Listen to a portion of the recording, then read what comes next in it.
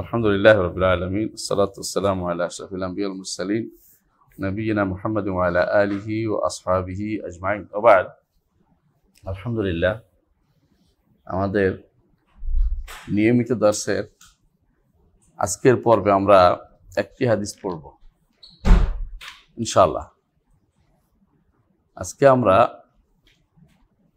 সপ্তম অধ্যায় আছি, সপ্তম অধ্যায় আছি।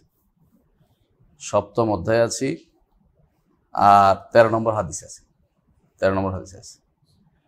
সপ্তম অধ্যায়ের নাম হচ্ছে বাবুন আত্তাইসির ওয়াত্তাবশির অথবা বাবু তাইসির ও তবশির, দুইভাবে পড়া যায়। আমরা যে গ্রন্থটি পড়ছিলাম এটা হচ্ছে আল মুন্তাখাব মিন আহাদিসের আদাব ওয়াল আখলাক। আদব, আখলাক বিষয় হাদিস সমূহের একটি সংকলন। এই হাদিস, এই কিতাবের আমরা সপ্তম অধ্যায়ে আছি। সপ্তম অধ্যায়ের নাম দিয়েছেন, বা গ্রন্থকার নাম দিয়েছেন, বাবুন আর তাইসিরু ও তাবশিরু। তাইসির অর্থ সহজ করা, আর তাবশির অর্থ সুসংবাদ দেয়া। তাইসির অর্থ সহজ করা, আর তাবশির অর্থ সুসংবাদ প্রদান করা। হাদিসটি আমরা পড়ি ইনশাল্লাহ বাকি ব্যাখ্যা করব। আন আনাস ইবনে মালিক রাদিয়াল্লাহু আনহু, আনাস মালিক রাদিয়াল্লাহু আনহু বর্ণিত তিনি বলেন আইন নবী সাল্লাল্লাহু আলাইহি ওয়াসাল্লাম, নবী সাল্লাহ আলাইহি ওয়াসাল্লাম থেকে তিনি বর্ণনা করেন, ক্বালা নবী সাল্লাহ আলাইহি ওয়াসাল্লাম বলেছেন, ইয়াসসিরু ওয়ালা তুআসসিরু ওয়াবাশশিরু ওয়ালা তুনাফিরু তোমরা সহজ করো সহজ করো ওয়ালা তুআসসিরু কঠিন করো না ওয়াবাশশিরু তোমরা সুসংবাদ দাও ওয়ালা তুনাফিরু তোমরা ঘৃণা ছড়িও না, অর্থাৎ ভীতি ভীতি, মানুষের ভীতি ছড়িয়ে দিও না। এই হাদিসটি বুখারি ও মুসলিম বর্ণনা করেছেন। বুখারি হাদিস নম্বর উনসত্তর মুসলিম হাদিস নম্বর সতেরোশো চৌত্রিশ। আমরা হাদিসটি পড়লাম, এর মধ্যে কয়েকটি গরিব শব্দ আছে, আমরা ব্যাখ্যা করব। তার আগে আমরা জেনে নিই আনাসিবুল মালিক রাজি সম্পর্কে। তিনি হচ্ছেন আনসারি, মদিনার অধিবাসী। আনাসিবনে মালিক তার মা তাকে নিয়ে এসে রসুল্লাহ সাল্লাহ সাল্লামের কাছে দিয়ে বললেন যে খোয়াইদে মোকা আনাস এ আল্লাহ রসুল, আপনার ছোট্ট খাদেম হলো আনাস, তাকে দিয়ে যাচ্ছে। তো তিনি দশ বছর রসুল্লাহ সাল্লাহ সাল্লামের খেদমত করেছেন। এই খেদমত দাসত্ব না, এমনি খেদমত করেছেন। উইলিংলি রসুলের খাদেম ছিল রসুল্লাহ সাল্লাহ আসলাম তার জন্য দোয়া করেছেন আল্লাহমা আকসিল্লাহ ফিমা আলিহি ওয়ালাদি। আল্লাহ তার সন্তান সন্ততি বাড়িয়ে দাও, তার সম্পদ বাড়িয়ে দাও। আল্লাহ তালা তাকে দুটিই দিয়েছে দুটিই দিয়েছে এবং তিনি শেষ জীবনে তায়েফে বসবাস করতেন। অত্যন্ত বেশি পয়সাওয়ালাও ছিলেন, সন্তান সন্ততিটা অনেক বেশি তার ছিল। এরা এমনকি তার ফল এত বেশি হতো, তার বাগানে খেজুর মানে ফসল দুইবার করে ধরতো। এত বেশি তার আল্লাহ তাল রসোল্লা সাল্লাম দোয়ার বরকতে এটা হয়েছিল। আনাসবিন মালিক রাজিউল্লাহ আনহু, তিনি রসোল্লা সাল্লাহ আসলামের চারিত্রিক বৈশিষ্ট্য বেশি বর্ণনা করতেন। কারণ তিনি সাথে ছিলেন। যারা কাছে থাকে, তারা বেশি চারিত্রিক বৈশিষ্ট্য বর্ণনা করে। দূরে যারা থাকে, তারা একদিন আসে, তারা আহকাম বর্ণনা করে বেশি। হুকুম, আহকাম জড়িত হাদিস। সেই হিসাবে তিনি চারিত্রিক বৈশিষ্ট্য বর্ণনা করতে পেরেছিলেন। তিনি বলেছেন ইয়েস সিরু রসুল্লাহ সাল্লাম বলেছেন ইয়েস সিরু ওলা তোয়াসির সহজ করো। সহজ কীভাবে করবে? অর্থাৎ খুজু বিমা বিমা ফি হিত্তাই সিরু আলেন্নাস মানুষের মাঝে যেটা সহজ হয়, মানুষের মাঝে যে জিনিসটা সহজ হয়, সেই জিনিসটা গ্রহণ করো। মানুষের মাঝে যে জিনিসটা সহজ হয়, সেই জিনিসটা গ্রহণ করো। যা উল্লেখ করলে মানুষের অন্তরের ভিতরে পরস্পরের মিল মহব্বত হয়, সেটা উল্লেখ সেটা উল্লেখ করবে। যাতে করে তোমার কথাটা তারা গ্রহণ করে নেবে। এটা হচ্ছে তাইসির অর্থ। আর তোয়াসির অর্থ কঠিন করো না, কঠোর করো না। যা শুনলে মানুষ পালাবে, এমন কিছু করো না। যা শুনলে তারা তোমার কথা মানবে না, এমন কিছু করিও না। এমন কিছু করলে তোমরা তোমার কথা তোমার কথা শুনবে না। এখানে রসুল্লাহ সাল্লাম ইয়েস সিরু ওলা তোরা সিরু বলেছেন। সহজ করতে বলেছেন। আমরা এটা একটু ব্যাখ্যা করি। সহজ করার অর্থ এটা নয় যে শরীয়ত নির্দেশিত কাজটা ত্যাগ করে দেয়া, ছাড় দেয়া যেটাকে লিবারাল বলে। আমি অনেক লিবারাল আমি আমার অনেক লিবারাল আমার বউকে পর্দা করতে বলি না। আমি অনেক লিবারাল আমি সলাতে কিছু ত্যাগ করলে কিছু বলি না। আমি অনেক লিবারাল এই সমস্ত লিবারাল উদ্দেশ্য না। উদ্দেশ্য হচ্ছে শরীয়তের নির্দেশগুলো, ফরজগুলি মানতে হবে। আর নিষিদ্ধ জিনিসগুলো ত্যাগ করতে হবে। এটা মূল জিনিস। এরপরে মাঝে যা আছে, সেগুলোর মধ্যে কি করতে হবে? সেটা হচ্ছে মূল কথা। কিন্তু কখনো শরীয়তের নির্দেশ বাদ দিয়ে সহজ করা যাবে না আর নিষেধ করে সহজ করা যাবে না। অনেকে যেটা করে। কখনো কখনো দেখবেন আপনি যদি কোনো ছাড় দেন, সবাই খুশি। কিন্তু তারা তাদের ইয়াতে ছাড় দিতে রাজি তারা তাদের নীতিতে ছাড় দেয় শুধু আপনার কাছ থেকে ছাড় চায়। তারা যদি বলেন, আপনি যদি বলেন যে আপনি একটু ছাড় দেন, আপনার বউকে একটু পর্দা করান এটা তাদের কাছে কি বলে? আল্লাহ, এটা তো তোলে তো দিন দিন তো আমার বউদেরকে ঘরে ঢুকে ফেলতে যাচ্ছে। আপনাকে চায় আপনি যেন তাদের বউর সাথে মানে তারা যেন আপনার বউর সাথে গল্প করতে পারে, এরকম সুযোগ চায়। এটা এটা লিবারাল না, এটা সহজ করা জিনিস না, এটা হচ্ছে হারাম করা জিনিস, এটা জায়েজ না। এটা জায়েজ হবে না। এই জন্য রসুল্লাহ সাল্লাম তার স্ত্রী আয়সা রাজি আল্লাহ বলতেছেন, মা খুইয়েরা বাইনা সাইয়ান ইল্লাখতার আইসরাহমা রসুল্লাহ সাল্লাহ আলাইসাল্লাম তাকে যখন দুইটি জিনিসের যখন অপশান দেওয়া হতো, যে এটা নেবেন কি, এটা নেবেন, তিনি সহজটা নিতেন। তিনি সহজটা নিতেন। এমনকি যতক্ষণ পর্যন্ত সেটা হয়তো গুণা যেন না, মালাম এখন ইসমা গুণা হলে কানা আবাদুল নাসে তা থেকে সবচেয়ে বেশি দূরে থাকতেন। গুণা হলে তিনি সেটা নিতেন না। গুনার কাজ হলে এখতিয়ার করতেন না, সহজটা এখতিয়ার করতেন না। কিন্তু গুনার কাজ না হলে আল্লাহ তাকে দুইটা জিনিস দিলে তিনি সহজটা নিতেন।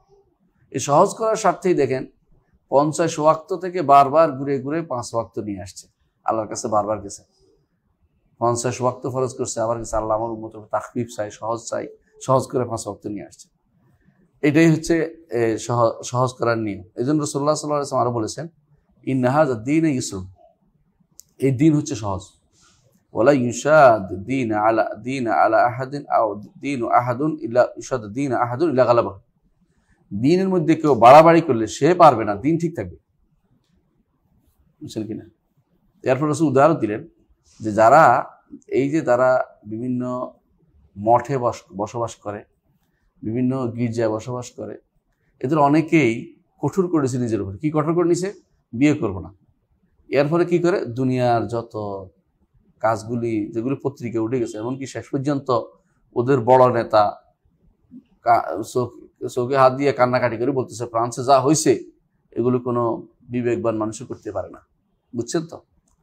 যে সমস্ত গুনার কাজগুলি হয় ইয়াদের প্রতিষ্ঠান দিন ইয়ার ভিতরে মানে আবাদতখানার ভিতরে যা হয়েছে সেটা বলার বাইরে। কেন? এর একটাই কারণ, নিজেরা বিয়ে করবে না। কিন্তু মানুষের জৈবিক চাহিদা আছে, বিয়ে করবে না কেন? মানুষ এইটা করবে না, সংসার করবে না, সংসার তো করতেই হয়। মানুষ এই দিক করবে এটা মানে সব করবে না করে দিছে রসুল্লাহ সাল্লামের জন্য উল্লেখ করেছেন, রাহবা আল্লাহ তালা উল্লেখ করেছেন রাহবা নিয়ে দারুহা মা কেতাব না আলী এগুলো হচ্ছে বৈরাগ্যপনা, নিজেরা আবিষ্কার করেছে আল্লাহদের উপর লিখে দেনি তো সুতরাং দিন সহজ, যে ব্যক্তি কঠোর করে কঠোর করে নিবে, সে হেরে যাবে দিন হারবে না।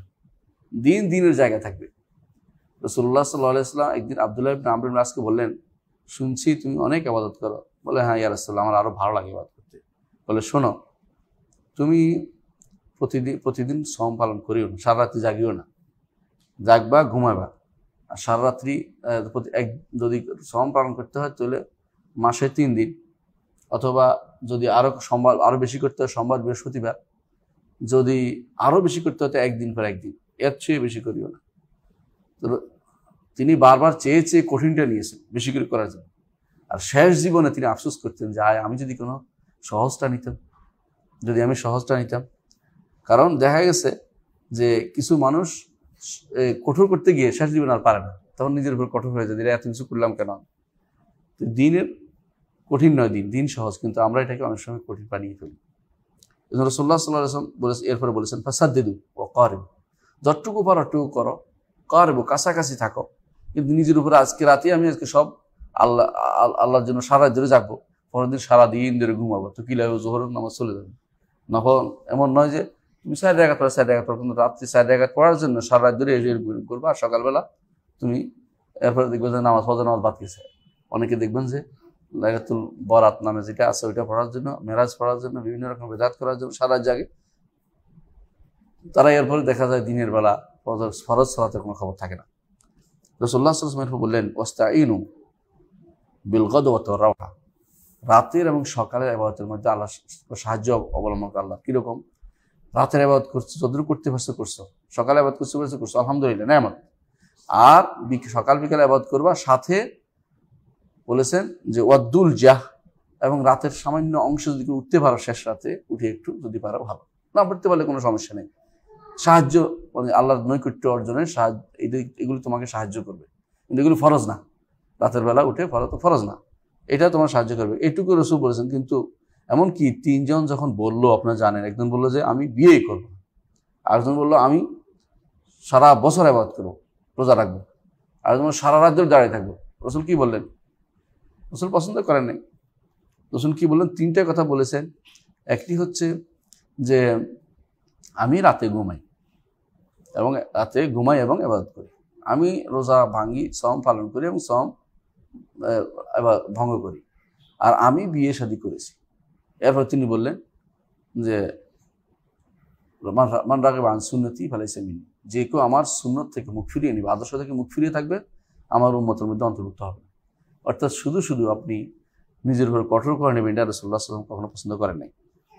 সুতরাং এর অর্থ হচ্ছে যে আপনাকে এমন একটি পদ্ধতি অবলম্বন করতে হবে, যার মধ্যে সহজতা আছে সহজতা আছে এবং সেটা হইতে হবে মোয়ামলাতে আবাদতে হইতে পারে মোয়ামলাতে হইতে পারে। কারণ আল্লাহ তালা আমাদের কাছ থেকে কঠোর চান, আল্লাহ বলেই দিয়েছে। আপনার মনে আছে? সমের ব্যাপারে সম এমনিতে একটু একটু কঠিন আবাদত কারণ না খেয়ে থাকা, পান না করে থাকা, এই যে একটা কষ্টকর। এরপর আল্লাহ কি বলেছে? এরপরে বলেছেন, ইউরিদুল্লাহ বিকুম ইউসরা ওলা ইউরিদ বিকুম রসরা আল্লাহ তোমার থেকে সহজ চান, কঠোর চান। যেখানে আল্লাহ চান না, রসুল চান না, আমরা কঠোর করব কেন? যে জিনিস নফল আছে, এটাকে ফরজ বানিয়ে ফেলব না। যে জিনিস নফল আছে, সেটাকে ফরজ বানিয়ে ফেলব না। সুতরাং কীভাবে আপনি সহজ করতে পারেন? সহজের কয়েকটা জিনিস আমরা উদাহরণ দিব, বুঝিয়ে দেন। যেমন, শরীয়ত যে ব্যাপারে ছাড় দিয়েছে, সেখানে আপনি কঠোর করবেন না। যেমন, আপনি পারছেন না দাঁড়িয়ে নামাজ পড়তে। বসে নামাজ পড়তে আপনাকে বলছেন, তাই না? সলাদ আদায় করতে। আপনি বলেন না, আমি জোর করে দাঁড়িয়ে দাঁড়িয়ে সলাদ আদায় করব। এরপরে কি হবে? এরপরে দেখবেন যে, আর পারতেছেন না, হাড় হাড় ভেঙে যাচ্ছে, ব্যথা হয়ে যাচ্ছে, জোর করে উঠতেছেন। এরপর দেখবেন যে, হাঁটুর এগুলো, রগগুলো নষ্ট হয়ে যাচ্ছে, ব্যথা আরও বাড়তেছে। আপনাকে বলছে সিদ্ধা না করতে পারলে আপনি ইঙ্গিতে পারেন আপনি গুলো সিদ্ধা জোর করে সিদ্ধা করলেন। চোখ করে পড়ে যাচ্ছে। তারপর শুনলেন না। এটা শহীদ বলে না। শহীদ বলছে, পছন্দ করে। রসোল্লা আসলাম একটা হাদিস আছে ইন্নআল্লাহ বান্তু তার রোখ আসা আল্লাহ তালা পছন্দ করেন, তোমরা তার রোকসত গ্রহণ করো। আল্লাহ পছন্দ করেন। কামা ইহেব্বু কামা ইয়েক রহন তামা আসি আল্লাহ যেমন অপছন্দ করেন, তার অবৈধতা যেন কেউ অবলম্বন করে, এটাও আল্লাহ পছন্দ করেন। পছন্দ করেন না। তেমনিভাবে আপনি আল্লাহর রোকসত ছাড়টা গ্রহণ করে আল্লাহ পছন্দ করেন। এজন্য ছাড় ব্যাপারে আপনি নিজের উপর কঠোর আরোপ করবেন না। অনুরূপভাবে ধরেন অসুস্থ অবস্থায় অসুস্থ অবস্থায় আপনি সম ভাঙ্গ, ভঙ্গ করতে পারেন। আপনি জোর করে সম পালন করলেন, পরে কি হবে অবস্থা? পরে দেখবেন যে আপনি আর সম পালন করার সুযোগ থাকল না আরও বেশি অসুস্থ বলে এবাধ্য করার সুযোগ থাকল না। যেখানে ছাড় দিয়ে সেটা করবেন। অনুরূপভাবে সফর অবস্থায় আপনার ছাড়া, ছাড় আছে আপনি সম ভঙ্গ করা। আপনি ইচ্ছা করলে সম ভঙ্গ করলেন না। যে না, আমার অসুস্থ হইল কঠিন হলো আমি থাকব। খাই আর না খাই, এই জোর করে নিজের উপর জুলুম করা কখনো ঠিক হবে না। অনুরূপভাবে দেখেন, দ্বিতীয় আত্মা ইসির জায়গা হচ্ছে যেখানে সহজ করার জায়গা, সেটা হচ্ছে যে ওয়াজিব নয় যেমন। কল্যাণময় কাজে। ওয়াজিব নয়, এমন কাজে কঠোর করার কোনো সুযোগ নেই। ওয়াজিব ফরজটা আপনাকে পালন করতে হবে। ফরজের এটা করতে হবে, কিন্তু নফল কাজে কারোর উপরে জোর করার দরকার নেই। কেন করল না, কেন আসলো না? অনেকে সেটা বলে। এমন কি কেউ কেউ নফল কাজ করতে গিয়ে জীবন বিপন্ন করে তোলে। নফল কাজ করতে গিয়ে। কীরকম ধরে অমুকখানে যেতে হবে, ওখানে শরীয়ত বলে না যাইতে। ওখানে বসে এস্তেমা করতে হব একাত্র হইতে হব এরপর অ্যাক্সিডেন্ট হচ্ছে, মারা যাচ্ছে অসুস্থ হয়ে পড়ছে, এবং কেউ কেউ মনে করে সেখানে মরে গেলে বুঝি জানাতে হবে সেখানে মরে করতে শরীয়ত বলে না আপনার সেখানে মরতে। পরিবারকে দেখাশোনা করে আপনার দায়িত্বের ভিতরে পড়ে, না করে আপনি দূরে চলে গেলেন, দূর দূরান্তে। এটাও শরীয়ত বলে না। অনেকেই হানাহানি, মারামারিতে লিপ্ত হওয়াকে গুরুত্বপূর্ণ মনে করছে। শরীয়তের ফরজ ওয়াজিবের ভিতরে পড়ে না এটা। আপনি কেন এগুলিতে যাচ্ছেন? এগুলিও নিষিদ্ধ। মানুষের সাথে মোয়ামলাতের ক্ষেত্রে সহজ অবলম্বন করে। কারণ যেমন রসুল্লাহ সাল্লাহ ইসলাম বলেছেন, রাহিমাল্লাহ আবদান ইজাস্তার আসাম হান ওইজা ওইজা বা আসাম হান ইজাস্তার আসাম হান ওইজা আক্তাদ আসাম হান ওই ব্যক্তির যে উপর আল্লাহ রহমত করুন, যেই ব্যক্তি যখন বেচা কেনা করে ছাড় দেয়, বেচতে গেছেন, ছাড় দিছে কিনতে গেছে, ওই ব্যক্তি ছাড় দিছে, কিনতে গেছে, ছাড় দিছে কিনতে গেছে, ছাড় দিয়ে বুঝেন কিনা? ধরেন আপনার কাছে, অনেকে আছে, বাজারে গেলে দুই টাকার জন্য এত ঝগড়া করে না দেড় টাকা, না দুই টাকা, না পনেরো দুই টাকা, এরকম করতে করতে এখন এখন তো আর বেশি ইয়া করে। তো আট আনা, চার আনার জন্য ঝগড়া না করে আপনি ওকে ছাড় দেন যে আমার ভাই উপকৃত হবে চার আনা দিয়ে। আর আপনি যখন বিক্রি করবেন, আপনি ছাড় দেন, ও চার টাকা বলছে, আপনি ঠিক আছে, চার টাকায় নাও। আপনি পাঁচ টাকার জন্য আটকে রাখেন না। এটা আসলাম আদর্শ। আর তিন নম্বর হচ্ছে যখন বিচার ফয়সালা করবেন তখনও ছাড় দিবেন। তারা একটা কথা বলছে, এটা বিশ্বাস করেন। আর এখন হচ্ছে নেগেটিভ বিশ্বাস করাটা একটা মানুষের ট্রেন্ডে পরিণত হয়েছে। এটা কেন বলল? নিশ্চয়ই কোনো একটা উদ্দেশ্য আছে। আর উদ্দেশ্য ঘুরতে ঘুরতে মিথ্যা কথা বলছে নিজে এই যে মিথ্যা, মানুষের মিথ্যা ধারণা চলে আসছে, এটা তো আপনার গুণার কারণ হয়ে যাচ্ছে। সুজন খারাপ ধারণা। এটা কেন করল? নিশ্চয়ই একটা কিছু আছে। কিছু মানুষ আছে পুরো নেগেটিভ তাদের জীবনটাই নেগেটিভ তারা সারাক্ষণ নেগেটিভ চিন্তা করবে আপনি যত ভালো কথাই বলেন না কেন, সেইটার ভিন্ন একটা ব্যাখ্যা বের করে বের করবে এটা কেন বলেছে? এটার উদ্দেশ্য এটা। দূরবর্তী কোনো একটা ব্যাখ্যা বের করবে। এই যার এই জীবনে আছে সে বড় বিপদে আছে এই জীবনের মধ্যে। কারণ সে শান্তি কোনোদিন পাবে না। নেগেটিভ সেন্সে অনেক মানুষ চলে, কিন্তু একজন ইমানদার কখন নেগেটিভ সেন্স চলে না। ইমানদার কাজে হলো সহজ। যদি এটা বলেছে, এটাই ঠিক বলেছে। বিশ্বাস করাটা তার জন্য জরুরি। সুজন করাটা কখনো ঠিক নয় কখনো ঠিক নয় তারপর দেখেন আর কোথায় সহজে আছে? আছে কীরকম দেখেন যে যখন রসুল্লাহ সাল্লাহ আসলাম হাদিসটি কখন বলেছেন, সেটা বললে একটু সহজ হয়। রসুল পাঠাইছিলেন জাকাত শুরু করতে। তখন তিনি বললেন যে, তোমরা মানুষের কাছ থেকে জাকাত যখন নিবা, কঠোরতা আরোপ করিও না। এই তোমার এই ছাগল তো দুই বছর হয়ে গেছে না তিন বছর হয়ে গেছে হিসাব করতে করতে সে যা বলছে তারা বিশ্বাস করতেছে না। জোর করে নিজের কিছু পয়সা উসুল করার চিন্তা ভাবনা করিও না। কর কর যারা উসুল করে তারা এরকম কিছু করতে পারে। জোর করে আপনার উপর করের বোঝা চাপাই দিবে যদি না হয়। আবার উল্টোটাও করে। কর আসছে তাও দিবে না, এটাও ঠিক না। শরীয়ত যতটুকু আপনাকে ছাড় দিয়ে যতটুকু নেবেন যারা ছাড় দেন এটা নিতে পারেন না। এটার জন্য আপনি কঠোরতা আরোপ করতে পারেন না। রসুল্লাহ সাল্লাম যে সহজ অবলম্ব, অব- জিনিস অবলম্বন করতে বলেছেন, এটা এর মধ্যে চলবে। কখনো, অর্থাৎ এর অর্থ এই নয় যে আমি শরীয়তের যেটা খরচ করেছে এটা ছাড় দিলাম। যে ঠিক আছে, অসুবিধা নেই এটা হবে, এটা না। হ্যাঁ যদি এমন কোনো আবাদত হয় যেটা কঠোরতা ব্যতীত করা যায় না। তখন আপনাদের কঠোরতা করলে কিন্তু সবটা হবে। ওটার মধ্যে কঠোরতাটা নিলে সব হবে। ধরেন আপনি অজু করছেন। অজু করার সময় আপনার যদি পায়ের কোথাও সাদা থাকে, এটা কি অজু হবে? অজু হবে না। তখন আপনাকে কীভাবে আসতে হবে? ওটাকে ডোলে কষ্ট করে জায়গায় পানিটা পৌঁছে দিতে হবে। এটা কষ্ট, কিন্তু এই কষ্ট মতলুব, এটা না হলে অজুটা হচ্ছে না। এখানে বললেন ছাড় দিলাম, যা, অসুবিধা নেই, এটা চলবে না এখানে। ধরেন আপনার শীতকালে, শীতকাল, ঠান্ডার দিন আপনি মনে করছেন যে আজকে ঠান্ডা লাগতেছে, তাই মুখ করে ফেলি চলবে না। হ্যাঁ ডাক্তার যদি বলে যে তুমি ঠান্ডা লাগাইলে ক্ষতি হবে, তো আমার সহজ তখন সহজটা গ্রহণ করা ওয়াজিব হয়ে যাবে আপনাদের। তখন বলে, না, ডাক্তার বলল আমি নিব না, আমি ঠান্ডা পানি দিয়ে উজু করব, আমি ঠান্ডা লাগাবো, এটা ছেড়ে চাই। অনেকে আছে, গ্রাম অঞ্চলে আমি দেখেছি, যদি বলেন যে গরম পানি ব্যবস্থা করে দিই যে গরম পানি না, ঠান্ডা পানি করলে সব বেশি হবে। ঠান্ডা পানি করলে সব বেশি হবে না শীতের দিনে, কোনো সব অতিরিক্ত হবে না, বরং অসুস্থ হয়ে যাবে একজন মানুষ। যেখানে গরম পানির সুযোগ আছে, গরম পানি নেওয়াটাই আপনার জন্য হচ্ছে ওয়াজিব। যদি সুযোগ থাকে, যদি ক্ষতিগ্রস্ত হওয়ার সম্ভাবনা থাকে। আর ক্ষতিগ্রস্ত হওয়ার সম্ভাবনা না থাকলে আপনি যে কোনোটাই নিতে পারেন। আপনার যেটা ভালো মনে করে সেটাই নিতে পারেন। সুতরাং এবাদত বলেন মোয়ামলাত বলেন, লেনদেন বলেন, অথবা মানুষের সাথে বিচার ফয়সালা বলেন, সব জায়গাতে আপনাকে ছাড়ের জায়গায় আসতে হবে, কিন্তু কখনো নিজের উপরে জুলুম করা যাবে না। যে জিনিসটা আপনি জুলুমটা, জুলুম, অর্থাৎ যেটা শরীর ছাড় দিচ্ছে এটার উপর জুলুম করে নিজের জোর করে কোনো চাপিয়ে নিতে পারে না, এটা শরীর অনুমোদিত না। এরপর রসুল্লাহ সাল্লাহ আসলাম বলেছেন ইয়াসিরু আমরা শুনলাম বলে তো আসিরু কঠোর করো না। কঠোর কেমনে করে? কঠোর করে যে, ধরেন আপনি বললেন যে, এইটা তোমাকে নিতে, এর বাইরে যাওয়া যাবে না, এটাই করতে হবে। যেমন এক সাহাবিরা, সাহাবি এসে বললেন ইয়ার তার সঙ্গীদের বললেন যে, আমি রাতে অপবিত্র হয়ে গেছি, কিন্তু আমার মাথার মধ্যে যুদ্ধের কারণে মাথার মধ্যে ইয়ে আছে আঘাত আছে।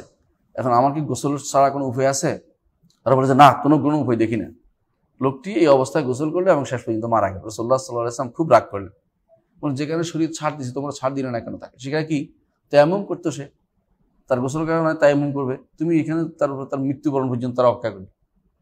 অনেক সময় অনেকে কি করে? জোর করে কোনো কোনো মুক্তি যারা মুক্তি মাজেন বলে ওদেরকে পাগল মুক্তি ওরা কি করে? বলে যে ধর বলছে যে আল্লাহ তালা বলছে তিনটা জিনিস। একটা হচ্ছে যে একজন কেউ যদি কোনো শপথ করে, শপথের কাফারা কি? একজন গোলাম আজাদ গোলাম আজাদ করা, দাসমুক্ত করা, না পারলে মিসকিন খাওয়ানো না পারলে কি করা? তিন দিন পর পর রোজা রাখা, সর্বশেষ যেটা, তিন দিন রোজা রাখা। এখন তারা বলল যে যদি শাসক বা কোনো পয়সাওয়ালা হয়, তার জন্য টাকা দেয় তো কোনো ব্যাপারই না। তার উপরে জোর করে বলল না, আপনাকে কাপড় দিতে হবে অথবা মিসকিন খাওয়াতে হবে, এটা না আপনাকে রোজা রাখতে হবে তিন। এটা তো শরীয়ত বলে নাই। আপনি তো উল্টা ফতোয়া তারা কষ্ট দেওয়ার জন্য। কষ্ট দেওয়া তো উদ্দেশ্য না। এমনও তো হতে পারে তার এটা দ্বারা উপকৃত হবে গরিব মানুষ, তার কাপড় দ্বারা। তার মুসকিন খাওয়ালে উপকৃত হবে। ওইটার দিকে না থাকে তারে কষ্ট দেওয়া তো উদ্দেশ্য না। শরীয়তের বিধান শরীয়তের গতিতে চলবে। আপনি ব্যক্তি দেখে শরীয়তের বিধান পরিবর্তন করতে পারেন না। ব্যক্তি দেখে দেখে। যে কিছু মানুষ এই কাজের মধ্যে লিপ্ত থাকে শরীয়ত এটাকে অনুমোদন করে না। এটা কঠোর করা। এই কঠোর করা যায় না জাকাত উসুলের সময় তাতে সুন্দরটা নিলেন। যে যেটা বেশি সুন্দর দেখা যাচ্ছে, এটা নিব আমি, এটা জাকাতে যেন দাও। তুমি খারাপটা দিতে পারো না, জোর করে নিয়ে নিলেন। আবার দেখা গেল যে মানুষের পিছু নিলেন। মানুষের পিছু নিয়ে বুঝেন কিনা? রসুল্লাহ সাল্লাহ আলাইসালাম বলেছেন যে রাজা যখন প্রজার পিছু নেয়, যে তার কি করল টা করল পিছু নেয়, তখন আফসা দেহ তাদেরকে নষ্ট করে, তারা তখন আর হক কথা বলে না। গোপন করে থাকে। এমনকি হকটা দিবেও না তারা। বলছেন না, বললে তো আরও বেশি নিয়ে যাবে। অনেক সময় আপনি যদি বলেন যে আমার এত টাকা আয় আয় আছে, তখন বলব যে না, এত টাকা আয় তোলে আয় করে দিতে হবে দশ গুণ, পাঁচ গুণ, তিন গুণ। এরকম যারা বিদেশ থেকে যারা মাল আমদানি করে, ওরা এরকম প্রশ্নগুলো আমাদের করে যে যেই টাকার মাল আমি আমদানি করছি, যে ট্যাক্স দিতে যাই, এটা তিন গুণ ট্যাক্স দিলে আর বাজারে আমার উঠে লাগবে না। ব্যবসা একবারে বন্ধ। তো জুলুম কেন করবেন আপনি? আপনি নিয়ম মোতাবেক আসবেন। এটা সব জায়গাতে এরকম। তাতাপুর আওরাত নাস এটাকে বলে যে মানুষের পিছু নেওয়া যেটা গোপন রাখছে, গোপন পিছনে আপনি কি করলেন? এই বেটা বোধ হয় বাড়িতে বোধ অন্যায় করে। বাড়িতে অন্যায় করে তোমার কি সমস্যা? তুমি জায়গা যায় বলতে চাচ্ছ কেন এটা? এই বেটার বাড়িতে কি আছে তোমার দেখা দায়িত্ব না। বাইরে ব্যাজিক বা ভালো আছে, আলহামদুলিল্লাহ, এটাই ভালো। কঠোর করার দরকার নেই। তো এই জন্য প্রত্যেকটি কথার একটা সীমা আছে। কিছু বাচ্চা কোথাও পেশাব করে দিল ধরেন আপনি বললেন যে আপনাদের বাচ্চাদের খেয়াল রাখবেন, যথেষ্ট। না করে তাদের বাড়িতে বাথরুম নাই, এটুকু বলার দরকার নেই, বাড়াবাড়ির দরকার নেই। মানে আমি বলছি, সীমার বাইরে কথা বলা কখনো উচিত না। ইমানদার প্রত্যেক সীমার ভিতরে থাকবে। তো যতটুকু আছে অটুকুর ভিতরে আপনি সহজ করতে পারেন এবং খায়রুল কালাম মাক্কাল্লাহ তাল্লাহ সহজ কথা বলাটা উচিত। আবার দেখেন কখনো কখনো এমন হয় যে আপনি বললেন যে, না, আমি কঠোরটাই কর- করার জন্য সিদ্ধান্ত নিয়েছি। রসুল্লাহ সাল্লাম এক ব্যক্তিকে দেখলেন আবাদ করতেছে কীরকম? হজে যাচ্ছে। হজটা বড় কাম। হজে যাচ্ছে। যাওয়ার সময় রোদে দাঁড়িয়ে আছে। তো রসুল বললেন যে, আবু ইসরায়েলের কি হলো? কথা আবু ইসরায়েল মান্নত করছে। কি মান্নত করছে? যে আমি তিনি হজ করবেন, তবে হেঁটে হজ করবেন। তারপরে তিনি, দ্বিতীয়ত তিনি ঘোড়ায় চড়বেন না মানে চড়বেন তৃতীয় তিনি ছায়া যাবেন না। ছায়া আছে না? সূর্য থেকে ছায়া অবলম্বন করবেন না। ছায়া অবলম্বন করবেন না। তৃতীয়ত তিনি সম অবস্থায় যাবেন। তিনটা একসাথ করছে, মনে করছে বিশাল সবের কাম করছে। রসুল বলে আবু ইসরাইল, আবু ইসরাইলকে বলো ছায়া যেতে। তাকে বলো সম ভঙ্গ করতে। তাকে বলো বাহন উঠতে তিনটা ভঙ্গ করে দিতে। এটি হবে না, চলবে না এইসব সালাকে। কি করতে হবে? ওয়াল ইউতিম্মা হাজ তবে হজ হজ করতে হজ যেন করে নেয়। হজ করা তো বন্ধ করবে না। এটা কাজ, ভালো কাজ করতেছে। তো হজের মধ্যে, সফরের মধ্যে তুমি সম পালনের জন্য ব্যস্ত হয়ে বসছে কেন? ওসব মানত তোমার চলবে না। লা নাজরা আলী ইবনে আদম লা বনি আদম যা মালিক এটা, সেইটা মানত করতে পারে না। ইনাল্লাহ আল্লাহ তাআলা তোমার এই কষ্ট দিয়ে কি করবে কষ্ট নিতে চান। কষ্ট সেখানে মতলুব, যেখানে কষ্ট ছাড়া কোনো উপায় নাই। এমন কি যে কেউ যদি কোনো বিমানে যাইতে পারে, গাড়ি, গাড়িতে যাইতে পারে, হেঁটে যাইতে পারে হজে, হেঁটে হজ করাটা উত্তম না। তার সবচেয়ে সহজ পদ্ধতি অবলম্বন করা উত্তম। সেটা কি? বিমানে যাবেন আপনি। কেন সহজ এটা? আপনি বলছেন হেঁটে হজ করলে সব, এই জন্য আপনি হাঁটা দিয়ে রওনা হয়েছেন। কি জন্য? মানুষের গিনিজ বুকে নাম লেখাইবেন আশা আছে। যে বহুত মানুষে বলবে যে উনি হাঁটে হজ করছে, এত বছর হেঁটে হজ করছে। একজনে মক্কা, মদিনাতে আমাকে রাগ করে বলতেছে, আমি তিনবার হেঁটে হজ করছি। কি জন্য বললেন? আমি আপনার কি করব? আপনি আমি আপনার কোনো পুরস্কৃত করতে পারব না? জীবনে কিছুই দিতে পারব না। কিন্তু আমাকে বলে কি লাভ আল্লাহ দেখতে না বলতেন। বলার উদ্দেশ্য, আপনি হেঁটে হজ করে এখন নিয়মটা নষ্ট করে দিচ্ছেন আপনার সবটা। বলে বলে আপনি দেখুন মানুষকে শোনাচ্ছেন আসল কিন্তু কিছুই পাবেন না। কিছু মানুষ আছে এটা করে। মানে কষ্ট করাটা তাদের একটা ট্রেন্ডে পরিণত হয়েছে। মানে কষ্ট করলে বুদ্ধি সব বেশি হবে। না, কষ্ট করলে সব বেশি না। কেউ যদি কোনো বিমানে হজ করতে পারে অথবা ভালো গাড়িতে হজ করতে পারে, একান্ত ছোট গাড়িতে তো বড় গাড়িতে সবাই মিলে হজ করা জোর কষ্ট করে হজ করা জরুরি না। এসি গাড়িতে হজ করতে পারলে আর নন এসি গাড়িতে হজ করার জন্য জরুরি না। কারণ হজটা উদ্দেশ্য। কষ্ট দেওয়া উদ্দেশ্য না। তবে কষ্টটা যদি কেউ যদি বলে যে, না, আমি আরফার মাঠে রোদ লাগবে, এই জন্য ঘরে থাকি, এটা হবে না। এটা হজ হবে না। কেউ যদি বলে যে, আমি মুজদালেফাতে রাত রাহন করলে বাতাসে ফিটাবে না, আমি মুজদালেফা থাকব না, আমি আমি নাই থাকব, সব চলবে না।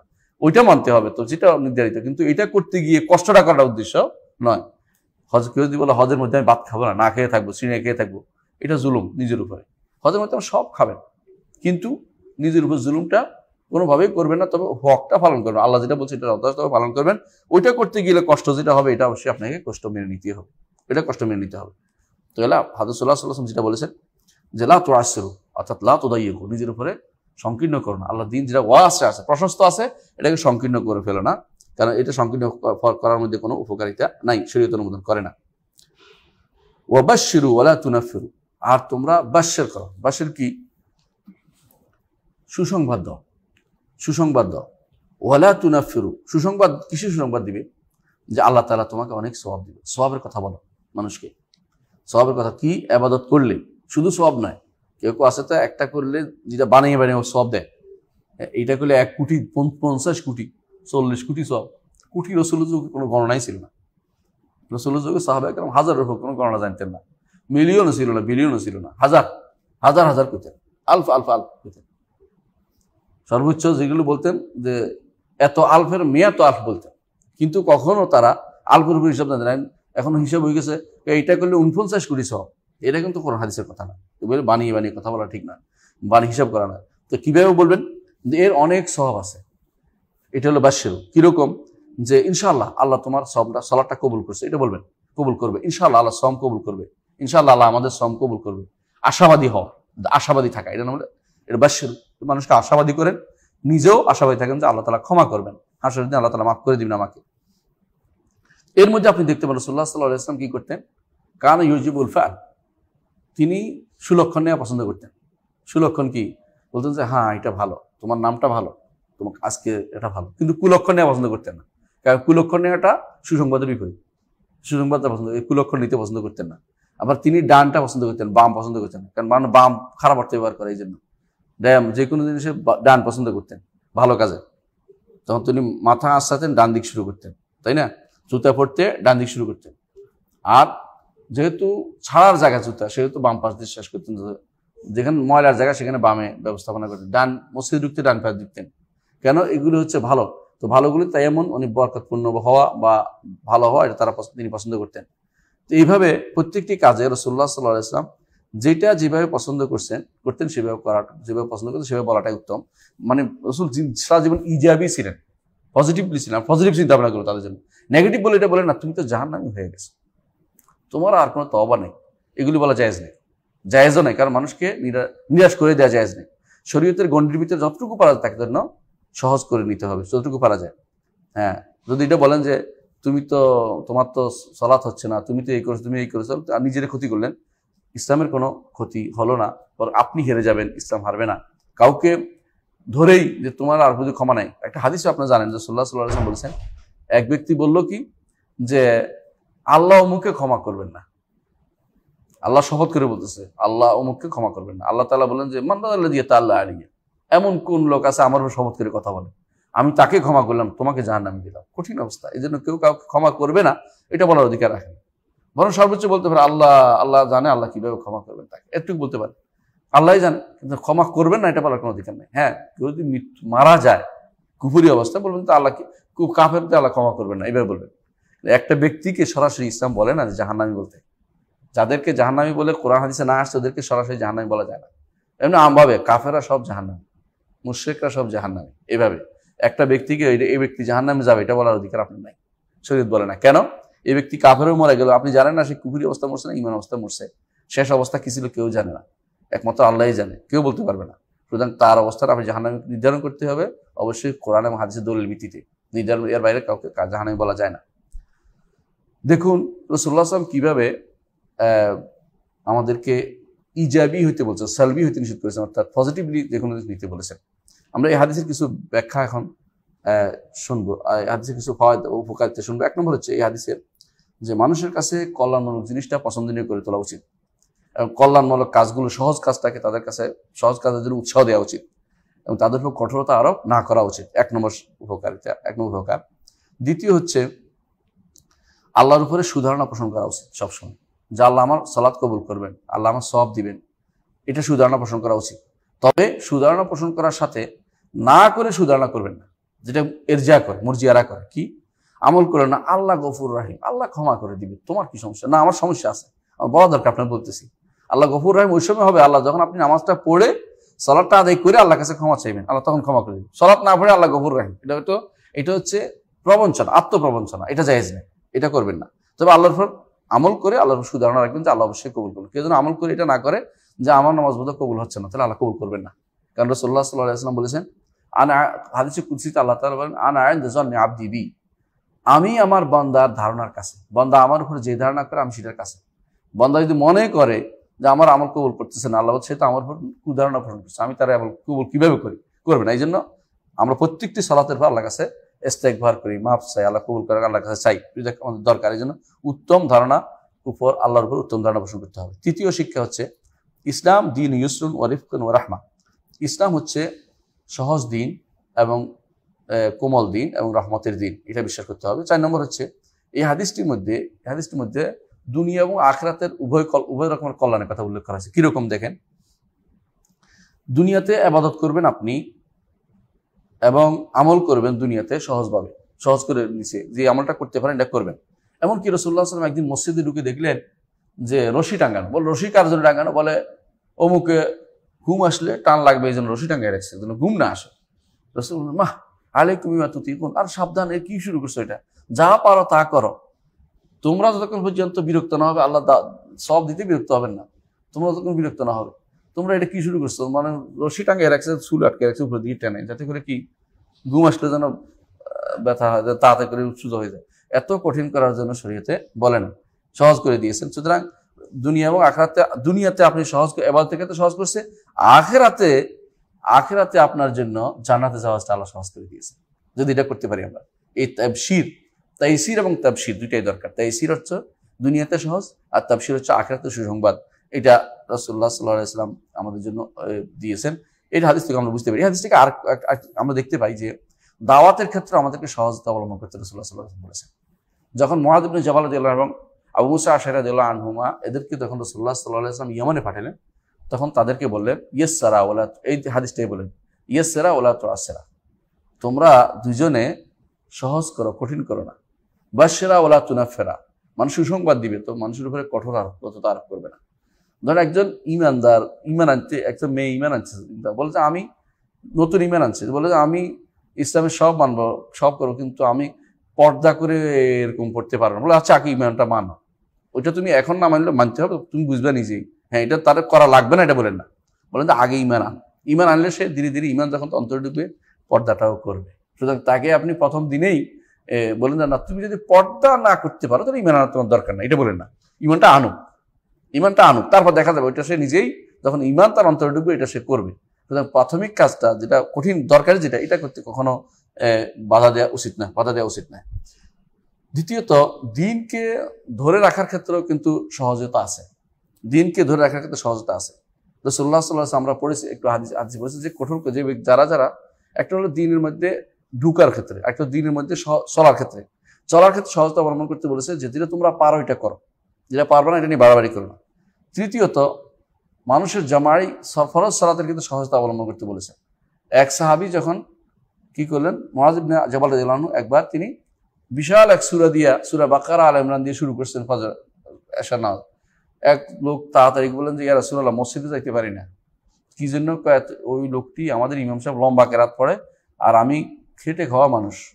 যখন লম্বা কেরাত পড়ে আমার আর ঘুমে সহ্য করতে পারি না। এই জন্য আমি মসজিদে ওনার কারণে যাই না। রসুল কঠিন লাগ করলেন রাগ করলেন। মানে তোমরা মানুষ কিনে মুনা ফেরি তোমাদের কেউ কেউ আছে মসজিদ থেকে মানুষ দূরে সরাই দিচ্ছ। মসজিদ আসার ব্যবস্থা করো, বাড়াবাড়ি করোনা যতটুকু নিতে পারো। তারপর তিনি বলে দিলেন সাব্বির ইসমা রব্বিকাল আলা দিয়ে পড়তে, হালাতা কাহিজুল গাছিয়া দিয়ে পড়তে, তারপরে আশ্রম সেবা দোহা দিয়ে পড়তে। বুঝাই দিলেন যে এগুলো হচ্ছে এশার নামাজের জন্য শূন্য এশার নামাজের জন্য এগুলি এগুলো আর একটু দেখেন, আরও শিক্ষার ক্ষেত্রেও কীভাবে ধীরে ধীরে আস্তে আস্তে পড়াইতে বলেছে। কোরআন নাজিল হওয়ার ক্ষেত্রে অল্প অল্প নাজিল। আল্লাহ তালা বলে কেন অল্প অল্প নাজিল হয়েছে? বলে এইসব তুমি ভুয়া দেখা। আপনার লিনুসবিতা বিফুয়া দেখে। আপনার অন্তরকে স্থাপন করার জন্য ধীরে ধীরে ধীরে ধীরে, আপনি যদি প্রথম দিনে বলে যে, এই ছেলে, তুই বোখারি পড়তে হবে। বয়স শেষ তাকে বলতে হবে, তোমাকে চারটা হাদিস মুখস্থ করতে হবে। তো তার মানে সাহস হবে। সাহস হইতে হইতে একসময় সে বোখারি বস্তু করার সাহস করবে। কিন্তু যখন আপনি প্রথম দিনেই তাকে বোখারি কথা বলবেন, সে একটু ভয় ভয় পেয়ে যাবে। প্রথম দিনে বললেন যে তুমি কায়দা পড়ো, প্রথম দিন বললেন যে তোমাকে আম পাড়া। পড়ো তাহলে কঠিন হবে তার জন্য। শিক্ষার ক্ষেত্রে সেরকম রসুল্লাহ আসলাম সেভাবে বলতেন। এমনকি রসুল উপদেশ যখন দিতেন, তিনি কি করতেন? একদিন উপদেশ দিতেন একদিন উপদেশ দিতেন না। অনবরত উপদেশ দিতেন না, প্রতি বছর বছর উপদেশ। সপ্তাহে একদিন, মেয়েদের জন্য একদিন নির্ধারণ করেছেন। এবং সাহাবি বলতেছেন, কান এই আল মাওয়েজা নসিহতের জন্য তিনি সময় দেখে বলতেন। যখন তখন নসিহত জুড়ে দিতেন না। রাস্তা দেখলে একটা নসিহত, এই শোন, কথা শোন, এই তুই দেখ পোলাবেনটা তো বিরক্ত হয়ে দিব কারণ এই লোকের কাছে গেলে শুধু কেবল নসিহতের জুড়ি, ফুল জুড়ি ছাড়বে। পালাও পালাও, কাছে না থাকি, পালাইতে আরম্ভ করো। এটা যেন না হয়। মানে আপনি সময় মতো অল্প বলবেন, তাকে এটি হলো জরুরি। কিন্তু এত বড় নসিহত জুড়ে দিবেন না। যেটা করা, অনেকে বলে, এখান দিয়ে হাঁটলে অমুকে ধরে মসজিদ যাওয়া বন্ধ করে দেখো গেলেই ধরবে এখন। অনেকে সেটা না করেন, তাকে অন্তত আসতে দেন। তাকে আসতে বন্ধ করে দিচ্ছে। তা তো হয় না। সহজ করে দেখুন, দুনিয়া জীবনেও রসুল্লাহ সাল্লাহাম বলেছেন, আমার চেয়ে সবচেয়ে কাছে থাকবে যারা সহজ সরল দুনিয়াতে সহজভাবে চলবে। আর আমার সবচেয়ে দূরে থাকবে যারা কথাবার্তা মানুষের কষ্ট দেয়। এবং মানুষের অনেক, মানুষের ভিতরে কি আছে, তোমার পেটের ভিতরে কি আছে, খুঁজি বের করা চিন্তা ভাবনা করে। আস্তার সারুন রসুল শব্দগুলি ব্যবহার করেছেন, খুব কঠিন কঠিন শব্দ। ওয়াল মুতাফাই হেকুন ওয়াল মুতাসাদ্দেকুন যারা মানুষকে ভেংসি দিয়ে তাড়িয়ে দেয়, ধমক দেয়। এগুলো রসুল্লাহ বলছে আমার থেকে দূরে থাকবে হাসরের দিন। তো আমরা দেখতে পাচ্ছি যে সহজ অবলম্বন করাটা রসুল্লাহ সাল্লাহ আসলামের একটি বড় উদ্দেশ্য ছিল সারাটা জীবনে। এর মধ্যে দেখেন একটা উদাহরণ দিই, দুইটা উদাহরণ দিব। একটা হচ্ছে ইফতারের ব্যাপারে। ইচ্ছা করলে রসুল বলতে পারেন যে তোমরা সূর্য ডুবার পরে নামাজটা পড়ে ইফতারটা করিও। মানে একটু বেশি গুরুত্ব দেওয়া যায় নামাজের প্রতি, না? রসুলটা পড়ে না আগে ইফতার পরে সালাদ সালাদ ফরজ। ইফতার করাটা কোনো ফরজ না। তারপরে গুরুত্ব দিয়েছেন কেন? যে সহজ করা হোক। বেটার সালাত সালাদ সম সালাদ একটু পরে ওয়াক্ত আছে, সমস্যা নাই, কিন্তু সমটা ভঙ্গ করা দরকার, কারণ তার কষ্ট হবে। যত বেশি দেরি হবে, তত পানির সমস্যা হবে, তার শরীর শক্তির সমস্যা হবে। এটা যেন না করে, তাকে আগে একটা, আগের কাজটা শেষ করে পরটা করতে পারবে, নির্ধারণ করে দিলেন। আবার দেখেন, শহরি, সাহেরি ইচ্ছা করলে কেউ বলে বারোটা খেয়ে বলব সব বেশি হবে। না, এটা না। সব শেষ মুহূর্তে সব করে সব বেশি কেন? দুই দিক থেকে একদিক থেকে আপনি শেষ মুহূর্তে জিনিসটার সীমানাটা রক্ষা করলেন। আরেকদিক থেকে সহজতা অবলম্বন রসুল্লাহ সাল্লাহ আসলাম আল্লাহ রসুল যেটা চেয়েছেন ইরিদুল্লাহ বিকুম ইউসরা, আল্লাহ সহজ চান, সহজটা অবলম্বন করলেন। দুনিয়ার বুকে দেখেন, কঠিন হলে সহজ করে দেয়। ইসলামী এটা কায়দা ফেকি আছে আর দরুরাত তুমি হল মাহাদুরাত। দরুরি যখন হবে, আপনি নিষিদ্ধ জিনিস হালাল করে, সহজ করে দিয়েছে কিছুই পাচ্ছেন না, আপনাদের সব হালাল। কিছু পাচ্ছেন, সব হারাম গেছে। আপনার কিছুই পাচ্ছেন না, আপনার মরাটাও খেতে পারবেন। মরাটাও খেতে পারবেন। কারণ তখন আপনাদের মরাটা আপনার জন্য খাওয়ার অনুমোদন করা দিয়ে দিয়েছে। ঠিক অনুরূপভাবে দুনিয়ার বুকে আপনি যে যখন আপনার এটাকে আরবিতে বলা হয়, ইজা দোয়া কালামুল ইত্তাসা এটা কায়দা ফেকি আবার এটাও। যে যখন কোনো কিছু সংকীর্ণ হয়ে যেত সহজে দেখুন, এই যে আমরা যখন আমরা এখানে নামাজ, সলাত আদায় করছি যখন ওই যে তাসা দোয়াকা যখন ইয়া হয়ে গেল যে সব মানুষ কি করতে হবে? নাকে ইয়া লাগাইতে হইব, দূরে দূরে থাকতে হইব, তখন একটা বিশাল কষ্টকর অবস্থা ছিল। তখন যেমনি ইচ্ছে আপনি সালাদ আদায় করছে সালাদ হবে। যখন আবার এটা নাই, বলে যে না, এখন আর কষ্ট করে পায়ে পায়ে লাগান। এখন আপনাকে পায়ে পায়ে লাগান দূরে থাকতে পারবেন না, পাক রাখতে পারবেন না। কারণ আপনার এখন আগের সমস্যাটা দূর হয়ে গেছে, এখন আপনার সহজ হয়ে গেছে। তো আপনি যে আগে যে সহজ ছিল, এটা একরকম এটা আরেক রকম সহজ হয়েছে। তখন কাছে না আসার কঠিন ছিল, এখন কাছে আসার সহজ হয়েছে। এখন তখন কাছে এই মানুষের জন্য সালাদ আদায় করা যেমনি ইচ্ছে সালাদ আদায় করা অনুমোদন ছিল, কারণ তখন কঠিন ছিল কাছে আসা। তো আল্লাহ তালার দিনটা পুরোটাই সহজ। আর দিন ইউসরু এটা সবসময় মনে রাখতে হবে। ইসলাম অত্যন্ত সহজ, সরল দিন। যেই ব্যক্তি এখানে বাড়াবাড়ি করবে, নিজের উপরে কঠোরতা আরোপ করবে, সে হেরে যাবে। ইসলাম কখনো হারবে না। ইসলাম তার জায়গায় থাকবে। ব্যক্তি হেরে যাবে। আল্লাহ আমাদেরকে সহজ দিন পালন করার অভিযান করুন। সালাম আলাইকুম রহমতুল্লাহ বারকাত